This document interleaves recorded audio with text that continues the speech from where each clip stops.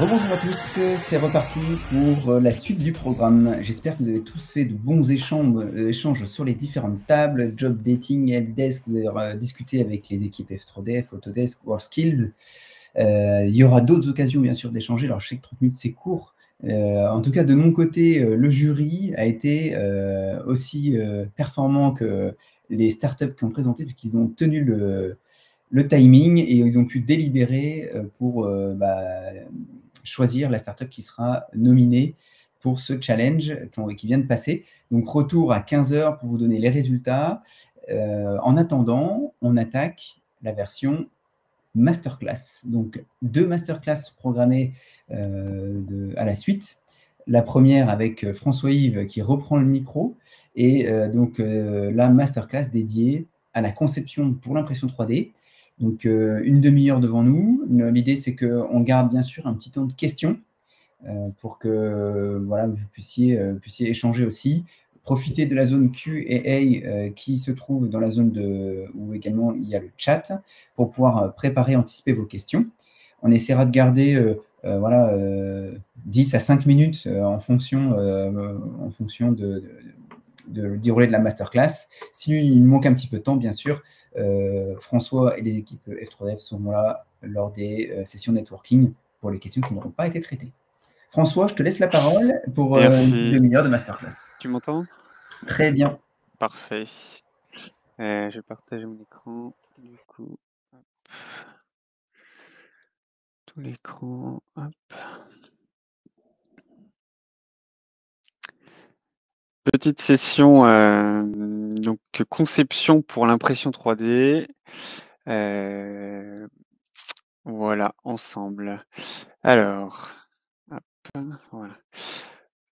L'impression 3D, grosso modo, euh, on connaît, on connaît les technologies, on, on connaît un peu moins bien. À quoi est-ce que ça sert?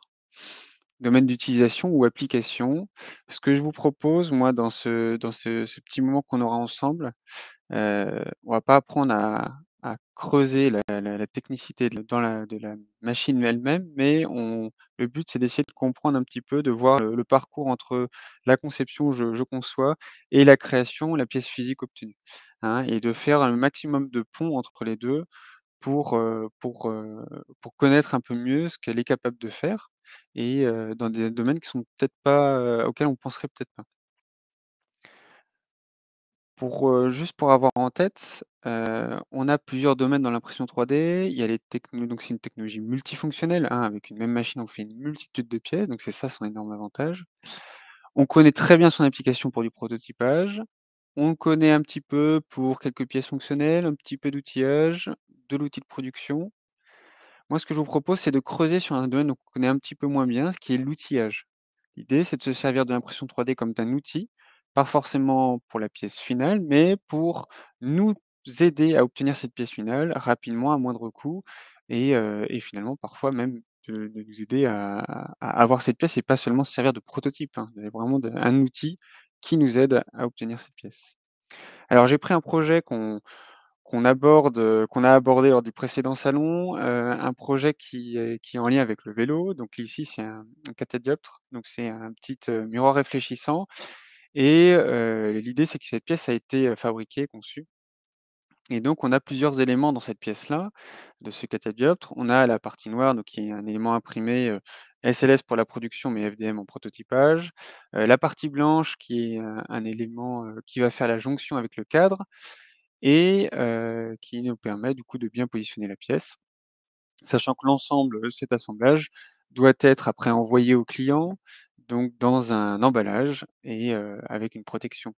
Voilà, donc nous, on va voir 2 objets là-dedans qui ont utilisé l'impression 3D comme non pas ils ont été pas fabriqués en impression 3D, mais plutôt, ils ont utilisé l'impression 3D comme outillage, qui va être donc l'adaptateur du cadre et l'emballage de protection. Passons d'abord à l'adaptateur du cadre. L'objectif de cet adaptateur, c'est de, l'injecter.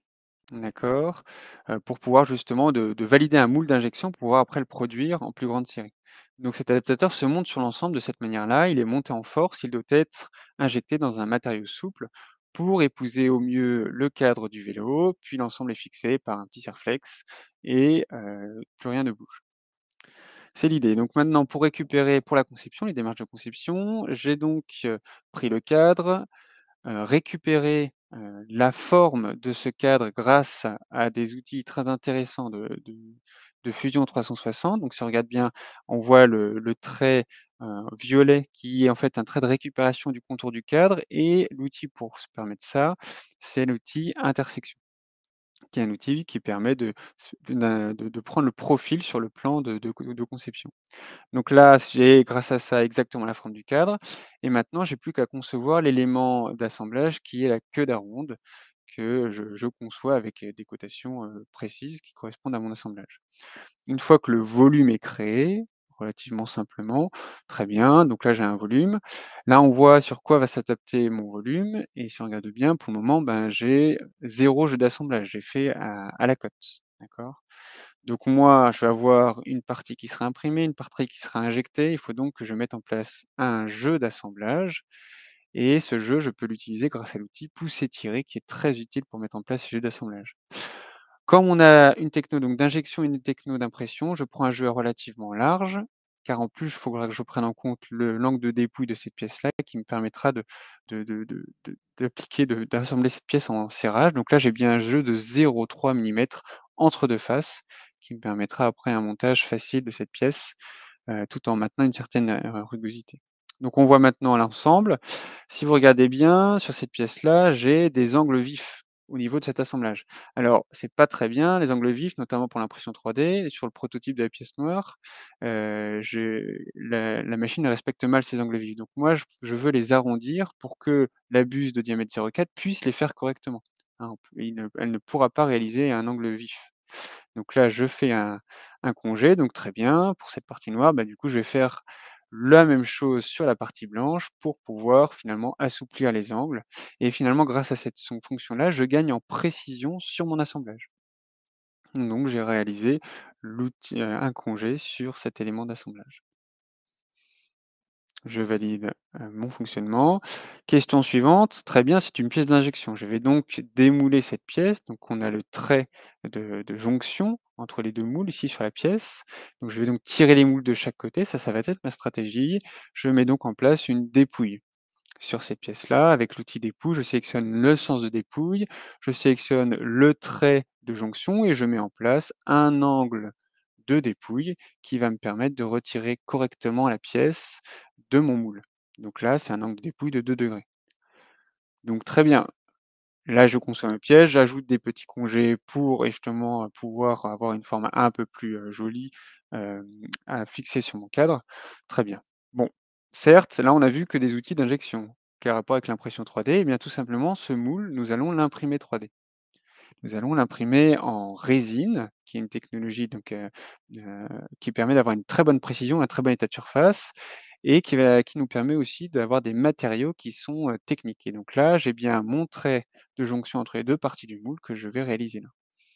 Donc j'ai ma pièce, très bien. Je réalise le volume de mon moule que je veux imprimer, qui encadre ma pièce. Je réalise le perçage pour l'injection de la matière.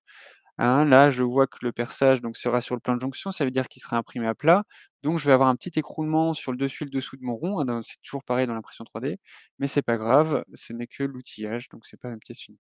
Là, je conçois ensuite le reste pour la partie, où je vais injecter avec la petite rondelle chanfreinée qui me servira de cône d'injection. Je mets des arrondis sur mon volume et ça, c'est très important pour la partie impression résine. Ça évite d'avoir des concentrations de contraintes au niveau des angles de ma pièce. Quand on a un volume important, il est préférable de l'arrondir, on gagne en précision et on évite un décollement éventuel de la pièce. Donc là, ça, va être important. Je coupe ma pièce, je conçois des plots de centrage entre les 2 parties de mon moule et je mets en place un jeu d'assemblage de 0,1 entre 2 faces. En résine, cela me permet d'avoir une très bonne précision sur mes plots d'assemblage et cette ce jeu suffit. Donc entre 2 faces, donc c'est un jeu au rayon de 0,1. Je continue mon assemblage et je mets en place des petits canaux refroi de de d'évacuation de l'air, qui vont permettront lors de l'injection d'évacuer l'air du moule et donc de pouvoir mettre la matière partout. L'épaisseur de ces canaux, c'est 0,2 millimètres. Sauf que comme moi j'imprime en couche de 0,05 millimètres, ça va me permettre de faire 4 couches de décalage, donc je pourrais très bien réaliser cette forme. Donc voilà, j'ai bien réfléchi en amont à mon épaisseur de couche utilisée. Je mets en place des petites, heu, des petites, heu, cubes pour pouvoir démouler et je rajoute un jeu sur le dessus des plots de 0,3 cette fois, donc un peu plus important. Parfois, certaines parties des moules sont difficiles à nettoyer avec la résine et donc on a des petits dépôts. Pour être sûr que ce dépôt ne vienne pas interférer sur l'assemblage de ma pièce, je préfère rajouter un jeu un peu plus important là, qui gênera absolument pas la mise en position de mon moule et qui surtout facilitera éventuellement, heu, évitera surtout un défaut d'assemblage, si jamais on laisse des petits dépôts de matière. Voici mon moule, voici ma pièce. J'ai rajouté des chanfreins sur la base de chacune des 2 parties de mon moule. Ces chanfreins me permettent de décocher la pièce du plateau, heu, sur mon plateau résine donc heu, grâce à ça, je mets une petite, heu, spatule, je tape avec un petit coup de marteau et hop, ça se décolle très facilement. Voilà. Donc voici mon moule, on voit bien la pièce, on voit l'espace de la pièce, donc j'ai fait un effet booléen bien sûr pour, retirer la marque de la pièce et donc j'ai toute la partie de mon moule à envoyer en impression. Je l'ai conçu en fonction de la technologie résine, je l'ai orienté en fonction aussi, j'ai mis les jeux qu'il fallait. Je l'ai imprimé, je le passe donc au four de traitement de polymérisation, donc heu, imprimé en résine 10K et injecté sur une presse Olimaker. Donc c'est une petite presse manuelle avec un matériau bumper, donc matériau souple, qui permet du coup d'avoir cette souplesse sur la pièce finale. Donc je fais l'injection et voilà, le moule avec sa forme me permet de retirer facilement le moule de mon étau pour après pouvoir l'ouvrir et sortir ma pièce finale qui a été injectée. Donc voici le premier exemple. Bien sûr, après la carotte d'injection, il faut la couper. Voici le premier exemple, d'un cas d'application. Deuxième exemple, d'un cas d'application d'outillage, avec l'impression 3D, c'est ici l'emballage de protection de ma pièce. J'ai donc mon ensemble, une fois que je l'aurai terminé, que je vais assembler sur, heu, que je vais positionner sur mon emballage de protection. L'ensemble après, heu, sera positionné dans le carton qui permettra d'envoyer la pièce.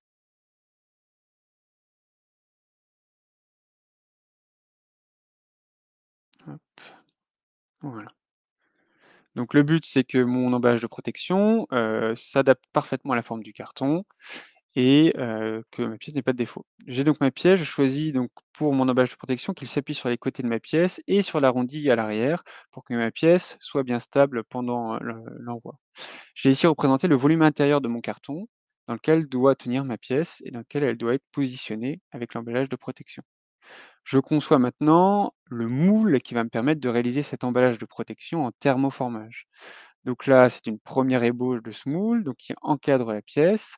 J'ai fait exprès des formes sur les côtés un peu larges pour pouvoir glisser les doigts et récupérer la pièce et on voit grâce pareil, heu, à mo module intersection, j'ai pu récupérer les formes de la pièce pour faire des formes de moule qui correspondent et qui puissent s'appuyer aux différents endroits de ma pièce. Une fois que c'est fait, donc je continue la conception de mon moule de thermoformage, hein, vous verrez un petit peu après à quoi ça correspond. Je le ferme en bas, je le fais épouser la forme de ma pièce et suite à ça, donc je vois que la position de ma pièce est faite. Mais je n'ai pas de jeu d'assemblage. Là, c'est pas possible évidemment, il faut rajouter un jeu d'assemblage entre ces 2 éléments et surtout un jeu qui prenne en compte l'épaisseur de la feuille qui sera thermoformée. C'est pourquoi le jeu est important ici, on met jusqu'à 4 millimètres. Donc là, c'est le moule, la pièce thermoformée et après il y aura la pièce finale positionnée dedans.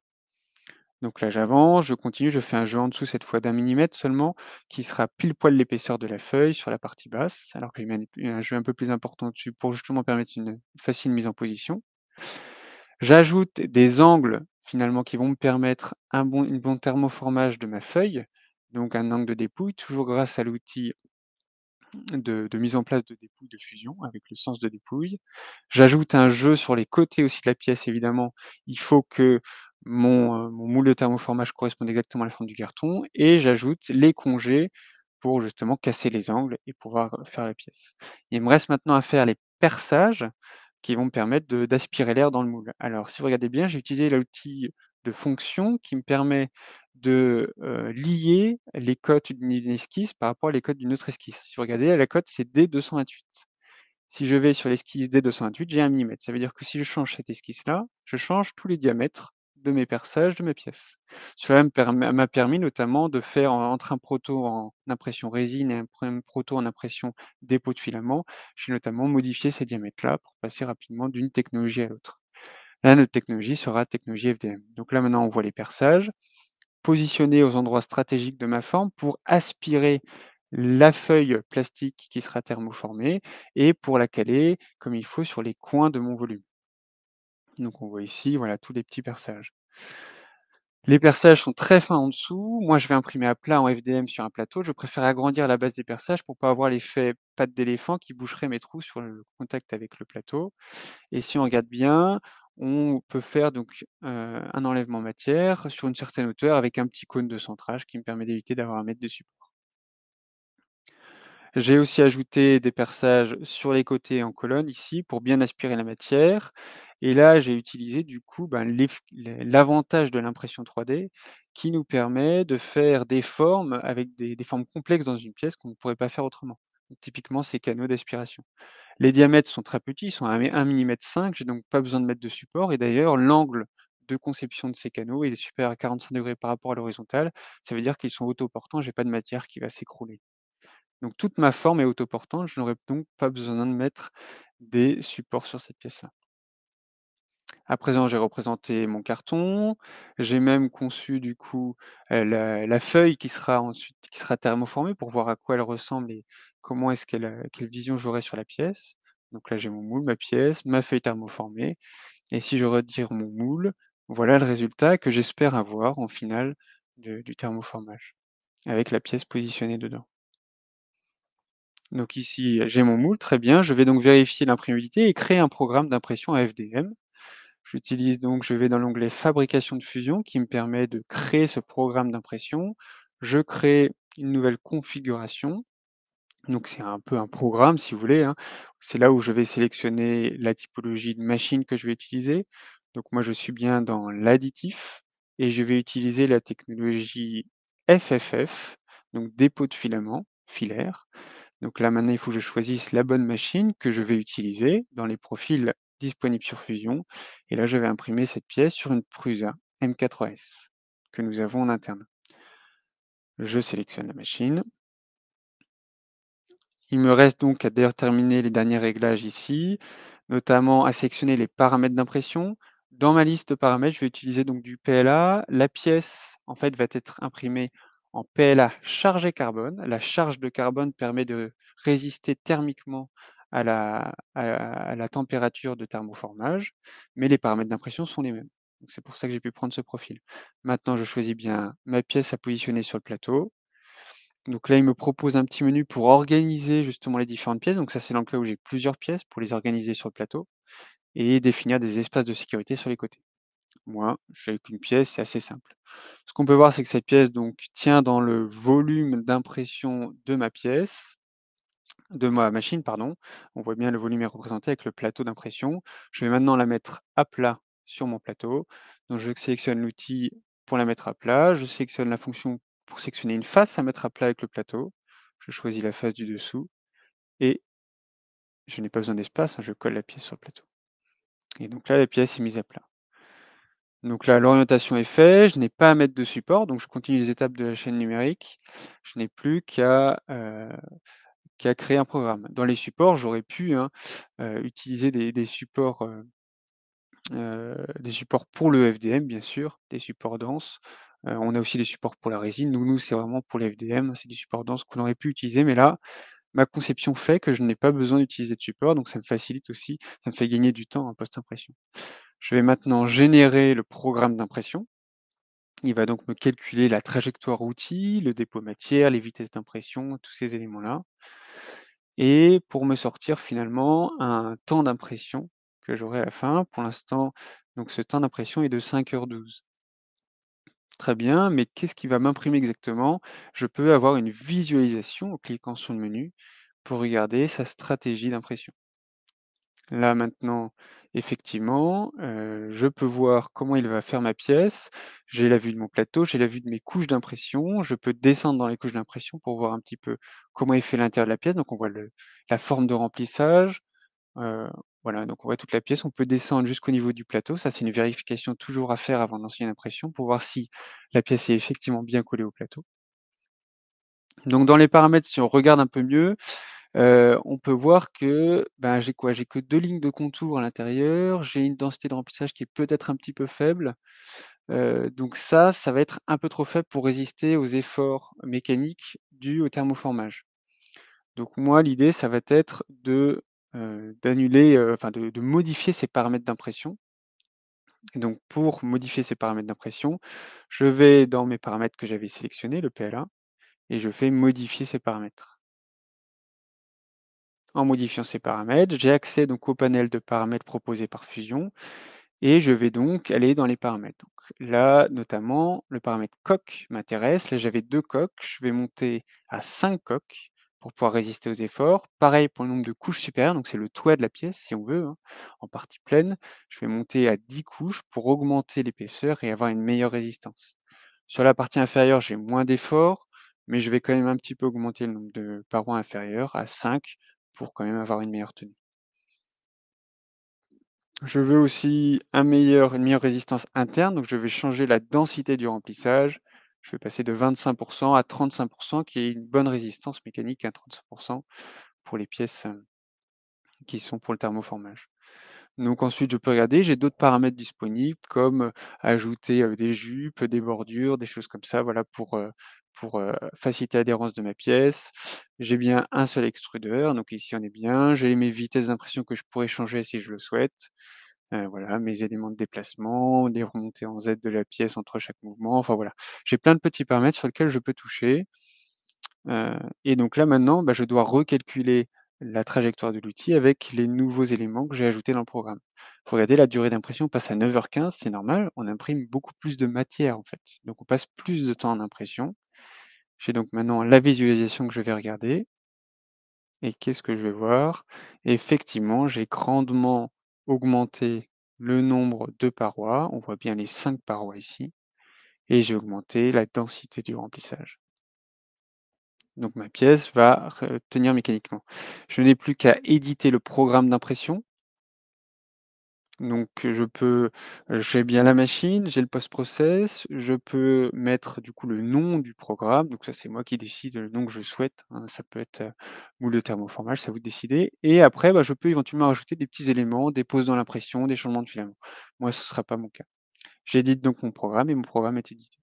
Je n'ai plus qu'à l'imprimer. Voici la pièce une fois imprimée, sortie de la Prusa. Je peux donc la récupérer et thermoformer la fameuse couche de protection. Donc on regarde, j'ai mon moule et je thermoforme sur ma pièce imprimée. Voilà, mon moule de thermoformage est prêt. Je n'ai donc plus qu'à assembler mon porte catadioptre et le mettre dans le carton en question que j'ai conçu, le fermer et l'envoyer à mon client. Voilà.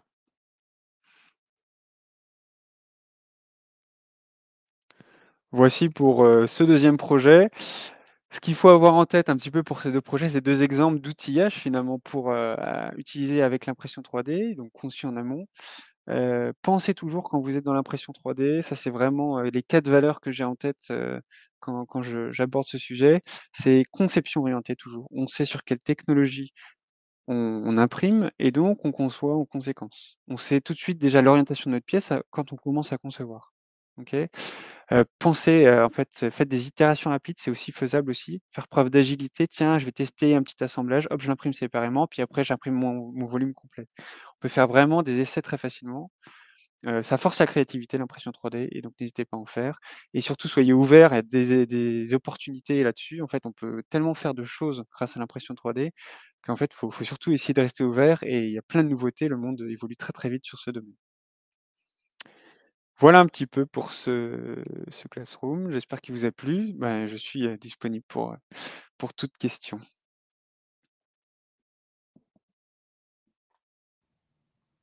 Je n'ai pas activé ma caméra, je vais tout de suite l'activer. Merci François. Merci François pour cette masterclass. là, on a découvert une partie de l'impression 3D un peu différente avec toute la, phase bah, d'outillage qui, qui, est en fait un, pôle finalement assez important au sein des entreprises, de pouvoir adapter des postes de travail, à de refaire des, outils pour finalement accélérer la conception du produit. Donc un petit peu moins phase de, prototypage, mais vraiment très intéressant. Euh, n'hésitez pas à mettre vos questions dans la zone Q&A euh, de manière à, pouvoir interroger François. Bien sûr, euh, vous retrouvez François et les équipes F3DF lors des temps d'échange sur le networking, sur les différents étages. À chaque étage, vous avez une table helpdesk qui permet aussi de poser vos questions de manière concrète sur le logiciel. Donc voilà, n'hésitez pas à ce moment-là à venir les rencontrer.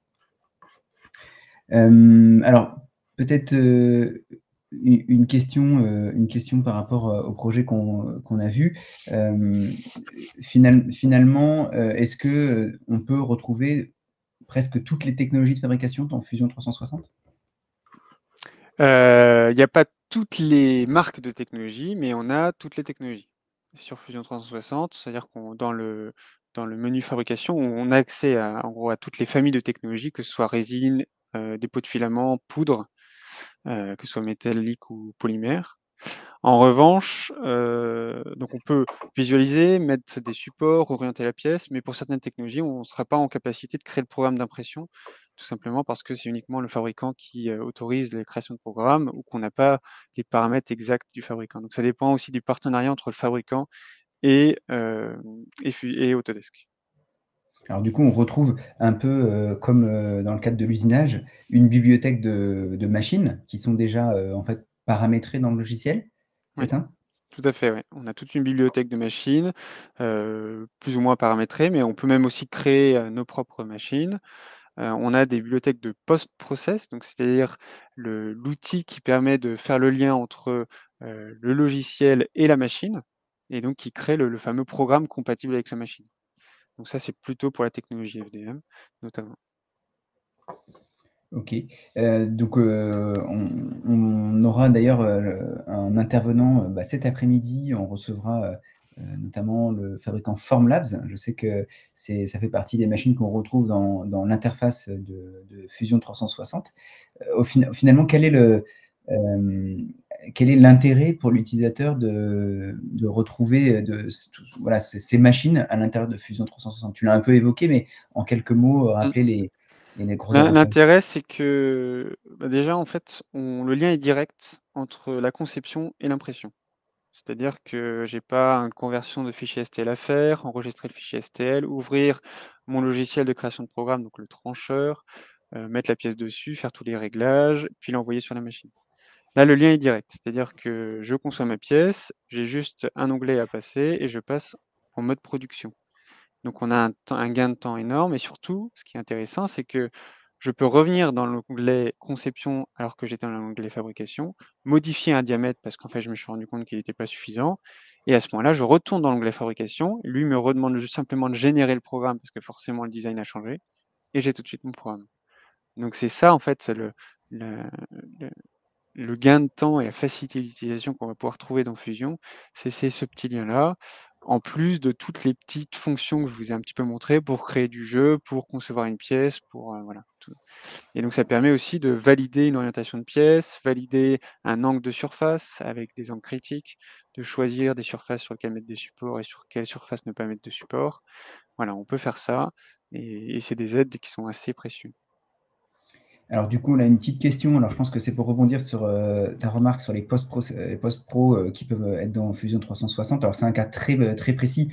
Peut-être tu pourras répondre de manière plus globale. là, il s'agit de pour intégrer une imprimante avec un firmware Clipper. Donc savoir si c'est un firmware standard qu'on retrouve dans, dans, la bibliothèque de Fusion. Il faudrait peut-être creuser un petit peu. Oui, ça faut que je creuse. et eh ben, on prend la question en compte et on revient vers vous. Donc c'est Christian c'est Florian euh, Klimanek.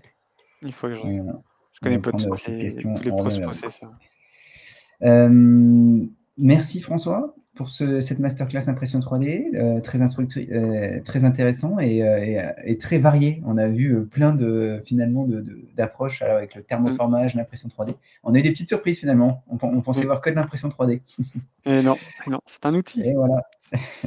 du coup, je vous propose de continuer avec le même rythme de masterclass puisque on va parler de Fusion 360 pour l'électronique.